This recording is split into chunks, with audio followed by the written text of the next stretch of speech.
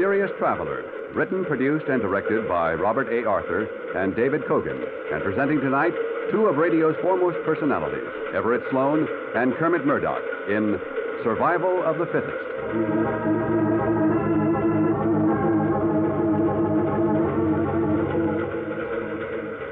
This is the mysterious traveler, inviting you to join me on another journey into the realm of the strange and the terrifying. I hope you will enjoy the trip, that it will thrill you a little and chill you a little. So settle back, get a good grip on your nerves, and be comfortable, if you can, as we hear a strange story of hate and intrigue. I call it Survival of the Fittest.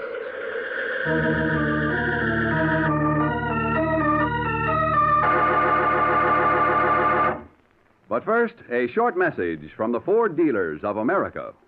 Over 120,000 delighted motorists are already driving the new 50 Ford. Here's what Mrs. Emily E. Curry, a welfare worker, said about her 50 Ford. As a welfare worker, I'm constantly on the go, and I must have a car that's dependable. But being a woman, naturally, I want a pretty car, too. I looked at all the cars and selected Ford because it gives me most of what I want. It's dependable, economical, and a real beauty both inside and outside.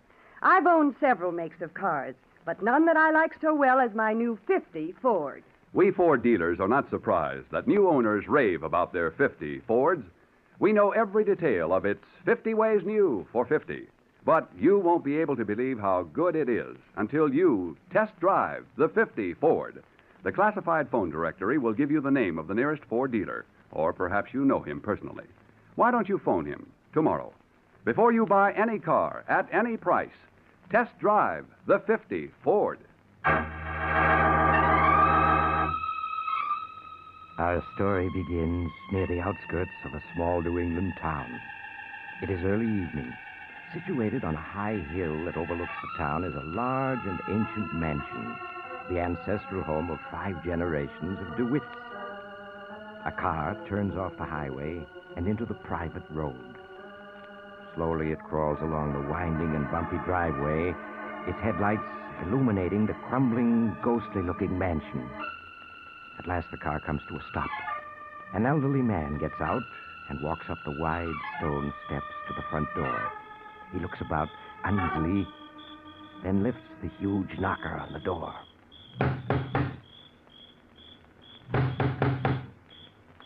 Schuyler, open up. Let me in.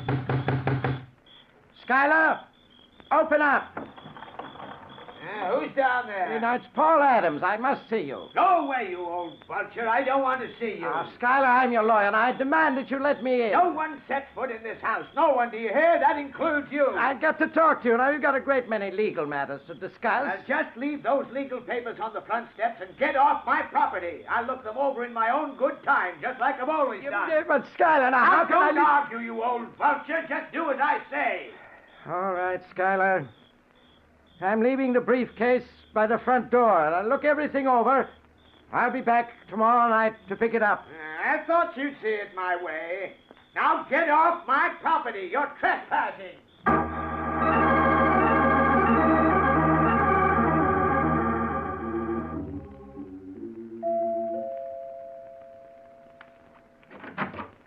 Oh, good evening, Paul. Come in. Thank you, Alex.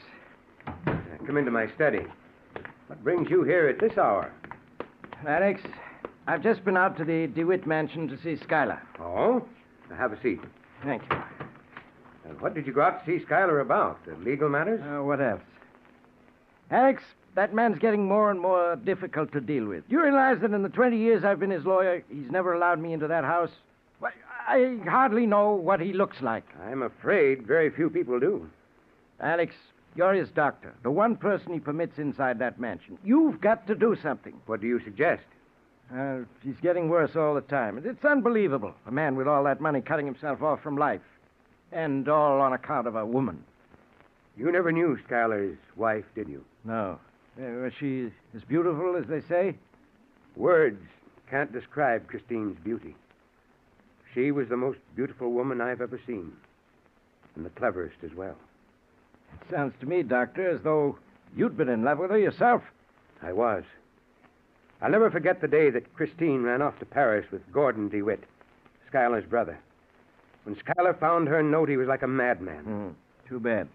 But uh, both Christine and Gordon DeWitt are dead. They're killed in that air raid in London during the war. Now, Schuyler knows that. It's time he stopped thinking of her. Not Schuyler. He'll go on living in that huge mansion with his memories until the day he died. You'd think he'd go insane there alone without anyone to talk to. He isn't quite alone. He has three cats for company. Hmm, cats. You call that company? What, what does he do with himself? Well, for one thing, he reads a great deal. Yes. At this moment, he's probably sitting in his study, reading by oil light. There are books piled all over the place, with hardly space to walk. Hmm. And the cats are in the study with him. Hmm. You know, I suspect that when Schuyler is alone, he speaks to them, treats them as if they were human, could understand.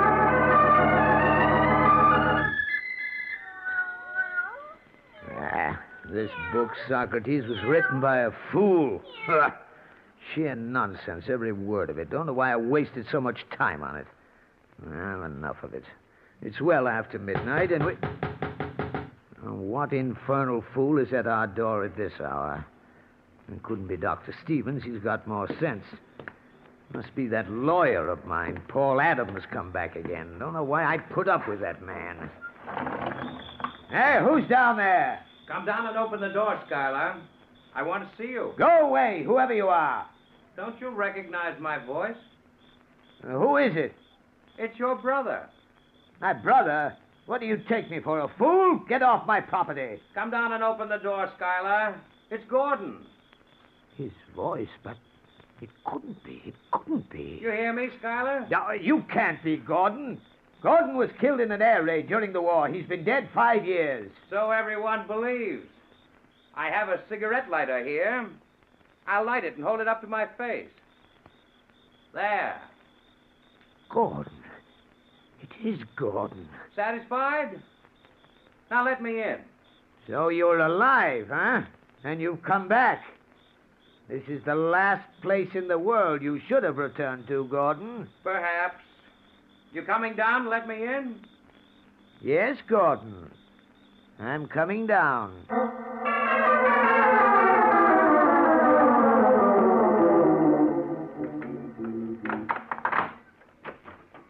Ah, come in, Gordon. You've changed, Schuyler. Considerably. Yes, Gordon. I've changed considerably. It's been 20 years. They said you'd been killed in an air raid during the war. I walked out of a London theater two minutes before it was demolished by a bomb. It was assumed I'd been killed with hundreds of others. And Christine? She died in the theater. Poor Christine. Poor Christine, indeed. You dare laugh at her memory? It's time, Schuyler, you learn the truth about Christine. I forbid you to speak about her, Gordon. Not a word. You're going to listen whether you like it or not. Sit down. I'll kill you, Gordon. I... Sit where you are. That's better. From the moment you met Christine 25 years ago, you behaved like a fool. You saw Christine not as she was, but as someone to be placed on a pedestal, worshipped. She was never the woman you dreamed of. Christine was like the rest of us, with all our faults and weaknesses. Everything you're saying is a lie, a lie. If she hadn't run off with me, she'd have run off with any one of half a dozen other men who were in love with her. Not a word you're saying is true. Not a word. You turned her head with your lies and promises. You robbed me of her love, lured her away. Only an idiot would believe that. Christine ran off with me because she wanted to. She was a woman with desires and a mind of her own. I don't believe a word of it. Not a word. You're saying all this for a purpose. What do you want? Why have you come here? What I've told you is true. My purpose in coming here? Very simple. Money. I chose to allow everyone to believe I'd died in that London theater because I was heavily in debt. Since that time, I've been living in France under an assumed identity. And you've finally come here for financial assistance, eh? Yes, Schuyler, I have. I know that you're worth millions. You can well afford to give me a small part of it. A bit ironic, don't you think? You run off with a man's wife, and 20 years later, you ask him to assist you. I tell you, you are well rid of Christine. The woman you loved didn't exist. And for revealing this great truth to me after 20 years, you expect money, hmm? I'm still your brother. You can't let me starve. No, of course I won't let you starve, Gordon. As you say, you are my brother. Then you will give me some money. Money? No. But you're perfectly free to live here with me, Gordon. I've plenty of empty rooms, forty to be exact. You'll find here food and shelter, and brotherly love, of course. It wasn't my idea to live here. I'm sorry, Gordon, but that's all I can offer you. I see. Thank you, Schuyler. Leaving already? Goodbye, Schuyler. Goodbye, Gordon. yes, Socrates. He'll be back. He'll be back.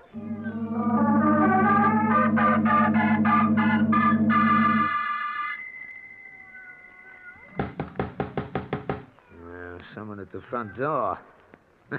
Must be Gordon. I knew he'd be back. Held out a week, but in the end he came back. Yeah, who is it? Dr. Stevens, Oh, you, Doctor. come down and open the door, Schuyler. It's been six months since you've let me in. It's time you had a checkup. Go away, Doctor. I'm feeling fine. Oh, are you now? Why is your voice so hoarse? I've had a light cold for a couple of weeks, that's all. I don't need any doctor. Now go away. Well, let me in anyway. We can talk, can't we? We've got nothing to talk about, Doctor. You live in one world, I live in another. And what of Christine, Schuyler? We both knew her, loved her. Yes, we, we both knew her, but I was the only one she loved. Everything he said was a pack of lies, nothing but lies. What's that? Schuyler, let me in. I can't hear you from here. Huh? All right. I'm coming down.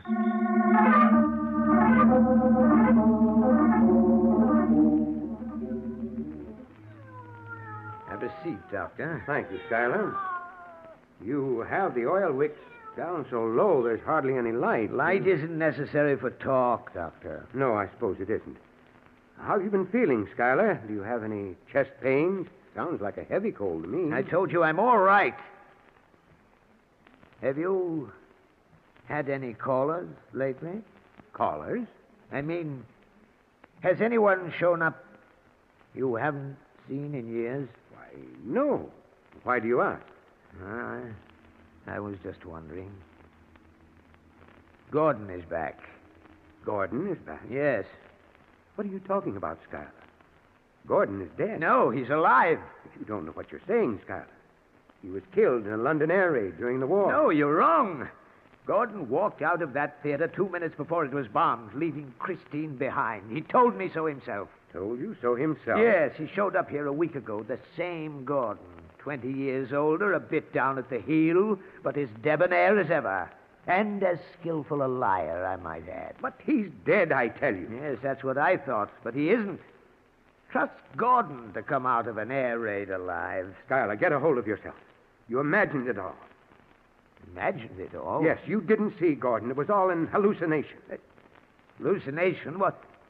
What are you trying to say? That I. that I'm going mad? I, I tell you, he was here a week ago, sat in the same chair you're sitting in. How could he, Schuyler, when he's dead? But he isn't. Schuyler, listen. I was stationed in London during the war. Knew the medical officers whose job it was to treat the air raid wounded and identify the dead. What are you getting at? I spoke to the officer who identified Gordon and Christine. What? Yes. Both were horribly mutilated, of course. But Gordon was identified by his name bracelet, his ring, and watch. No. No, that couldn't be. It's true. I myself saw the bracelet, the ring, and watch. I recognized the ring. It was the one Gordon got on his 21st birthday. Gordon dead? Yes. But. But I, I saw him. I'd swear to it. Of course you would, Schuyler. Hallucinations are like that. So vivid, so lifelike that, that you would swear to them. Now listen to me, Schuyler. You know I'm your friend. Have been since we were children. I want you to listen to me very carefully.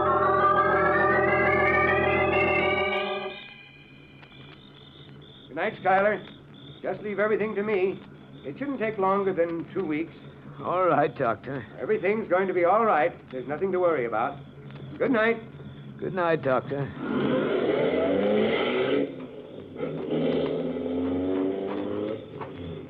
Good evening, Schuyler. Wait. Hey, Gordon! That was Alex Stevens, wasn't it? I decided to wait till he left. You're dead. You're dead. What are you talking about? Must be. You've gone out of your mind? Here. Feel my hand. Is that a dead man's hand?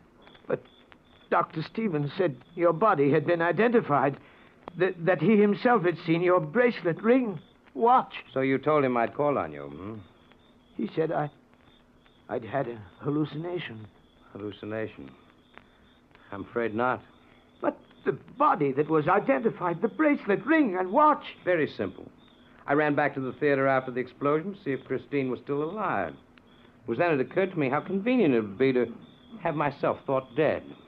I found a badly mangled body, removed the identification, and substituted my own. And they thought it was you? Yes. Shall we go in the house? By all means, Gordon. By all means. Well, I gather that you've decided to take advantage of my generous offer. Yes, Schuyler, I haven't any choice. I'm stone broke. I see. Uh, have a seat, Gordon. Thank you. what the devil's so funny? Oh, clever, clever, Gordon. You think I don't know what you've come back for, eh, Gordon? What are you talking about? As you well recall, Gordon, Mother left me the income from a half million dollar trust fund. When I die, that trust fund will go to charity. However, if you should turn up after my death, the income would go to you, wouldn't it? Yes, it would. Forty thousand a year. That's a tidy sum. Have you decided how you're going to do it, Gordon? What's it to be? A gun? Poison? A blunt instrument? I haven't quite made up my mind, Schuyler. Aren't you a little frightened? Why should I be? You're going to find me a very difficult problem, Gordon. Unless I die a natural death, you'll be open to suspicion when you appear to claim the income from the trust fund. I'm aware of that, Schuyler. Yes, indeed, I'm going to be quite a problem. Perhaps even a bigger one than you think. I don't think so, Schuyler. No? How can you be sure, Gordon, that you won't wind up as the victim? After all, it would be a simple matter for me to, say, poison you, bury you in this cellar. As far as the world is concerned, Gordon DeWitt is dead. No one would come looking for you. I'm also aware of that, Schuyler. I shall be on my guard. Yes, Gordon, be on your guard. For I suspect that in a very short time, there's going to be one less DeWitt in this world.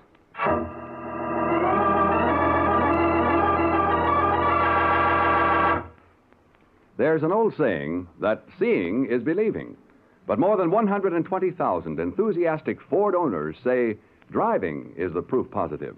That's why we Ford dealers want you to test drive the 50 Ford before you buy any car. You get the quality feel the moment you slide behind the wheel. A finger's touch brings the great new V8 engine into quiet, eager life. And then, as you start your test drive, you'll feel the tremendous power and acceleration at your command. You'll immediately notice the quietness of both the motor and the sound conditioned lifeguard body. Take out over a rough, tough road and marvel at the way the midship ride floats you across those bumps.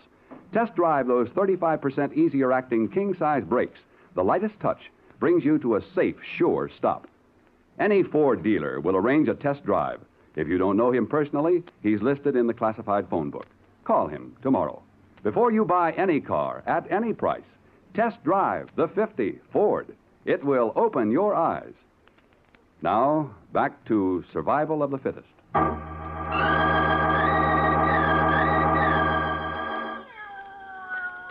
Now, Gordon, supper's ready. You don't say. No doubt another one of those indigestible affairs you call supper. well, you haven't died yet from one of my meals, Gordon, and you've been here two weeks already. Sit down, join me. Bread, beans, and canned pork. Is that all you ever eat? Just about, Gordon. Oh, uh, help yourself. Thanks. After you. Oh, of course. After all, I did prepare the meal, didn't I? I may be drunk, but not that drunk. Now, Gordon, you mustn't be irritable because you haven't been able to think of a way of killing me and making it look like a natural death. After all, I warned you that I would be a problem. Yes, but I'm no problem. No one knows I'm alive. No one knows I'm here. What are you waiting for? Afraid? Certainly not. It's just that I enjoy the situation. You want to draw this out the last moment, don't you? You think I'll break from the strain of being on constant guard? You're wrong, Schuyler. I won't. No? Then why have you taken to drink? And look at yourself. You haven't shaved since you set foot in this house. Drunk or sober, I'm a better man than you.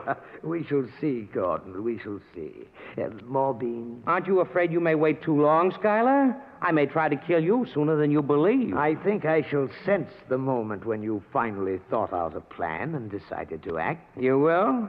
Look, Schuyler, I'm picking up this bread knife. How do you know I'm not going to kill you now? You can't. You haven't thought out a plan yet. You're wrong. I've had a plan from the moment I entered this house two weeks ago. What? Yes, Schuyler. As for my drinking, that was an act. An act designed to give you a sense of security and to give me time. What do you mean? I've had time to observe you closely, hear the way you talk, learn your every mannerism. You couldn't get away with it. You, you couldn't. Why not, Schuyler? Only one person ever sets foot in this house, Dr. Stevens. He sees you rarely and only for a few minutes. The light is always dim. At best, you're a shadowy figure. He, would sense the difference. You'd be caught. No, Schuyler. There's a strong resemblance between you and me, and with this beard I'm growing, he'll never know the difference. Uh, uh, no, you don't. You uh, robbed me of Christine, but you won't get my money. You won't get my money. I'll get it, as I've gotten everything I wanted. No, no, don't. You, stab. Oh. You're dying, Schuyler. You hear? You've lost. They'll hang, hang you for this, Gordon. They'll hang you. No, Schuyler. But when you die, I'll be Schuyler DeWitt. I'll bury you in the cellar, and that will be the end of it all. Never get away with it. But I will, Schuyler. And I want you to die knowing that. Your millions, Schuyler. They'll all be mine. No. You. Uh, uh, uh. Schuyler? Poor Schuyler. He never had a chance.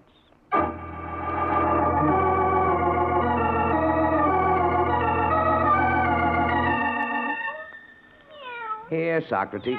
Get away, Plato. You've had enough to eat. As long as you're fed, you don't mind having a new master, do you? Now, you're the only ones who can give me away, but I don't think you will. Hmm. Seems we have a visitor.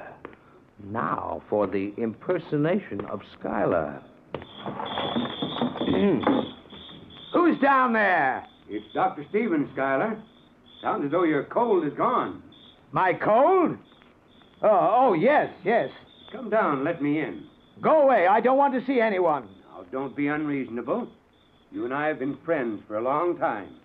Come down and let me in. Not tonight, Doctor. Now go away. What do we do now, Doc? Let me handle this. You just stay in the car. Who, who's that down there with you? Your lawyer, Paul Adams, and a friend. Well, get off my property, all of you. Schuyler, I insist that you let me in. If you don't, I'll force my way in. You'd be breaking the law. That's what you'll be doing, breaking the law. Are you coming down, or do I have to force my way in? I'm coming, Doctor. And you'd better have a good reason for all this.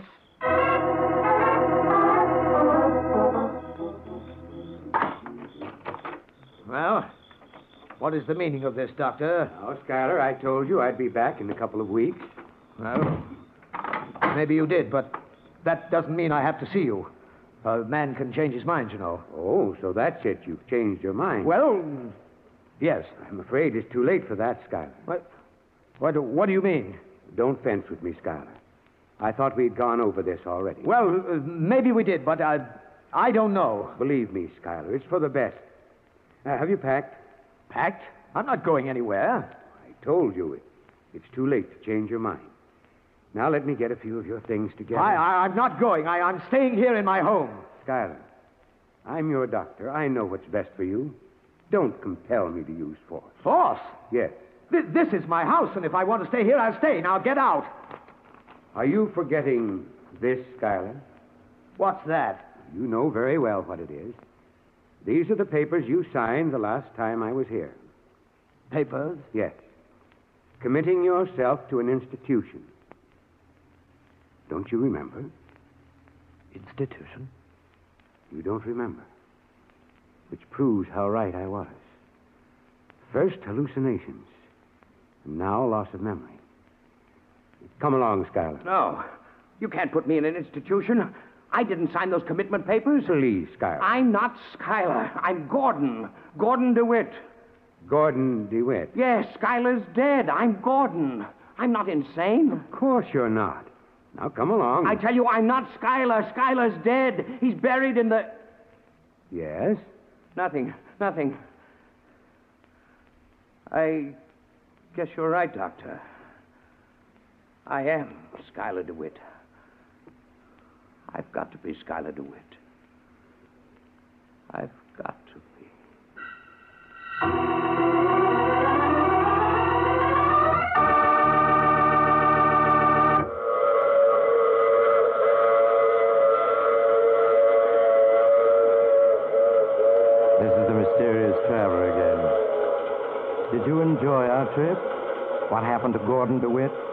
should I say, Schuyler DeWitt? Well, the poor man was taken to a mental institution, and quite depressed he was, too. In the months that followed, he could never quite make up his mind who he was. One moment he would insist he was Gordon DeWitt, then the next moment, suddenly frightened, he would claim he was Schuyler DeWitt. Looks as though the poor fellow is a hopeless case, and he's doomed. Oh, you have to get off here. I'm sorry. I'm sure we'll meet again. I take this same train every week at the same time.